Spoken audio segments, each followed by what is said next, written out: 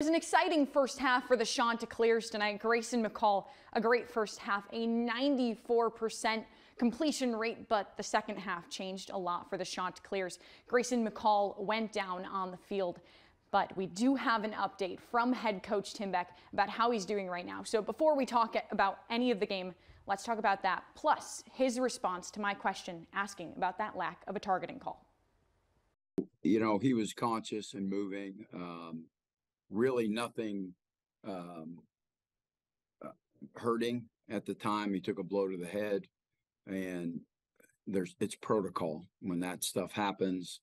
Um, they took him to the hospital. They're just running some tests to make sure he's okay. I mean, you know, it's eh, what do you do, right? I mean, I there's a hundred calls out there that are going on that are that are awful, um, and you know, I don't know how I don't know what to tell guys anymore. They give themselves up to slide and they're allowed to you know take shots at the quarterback's head.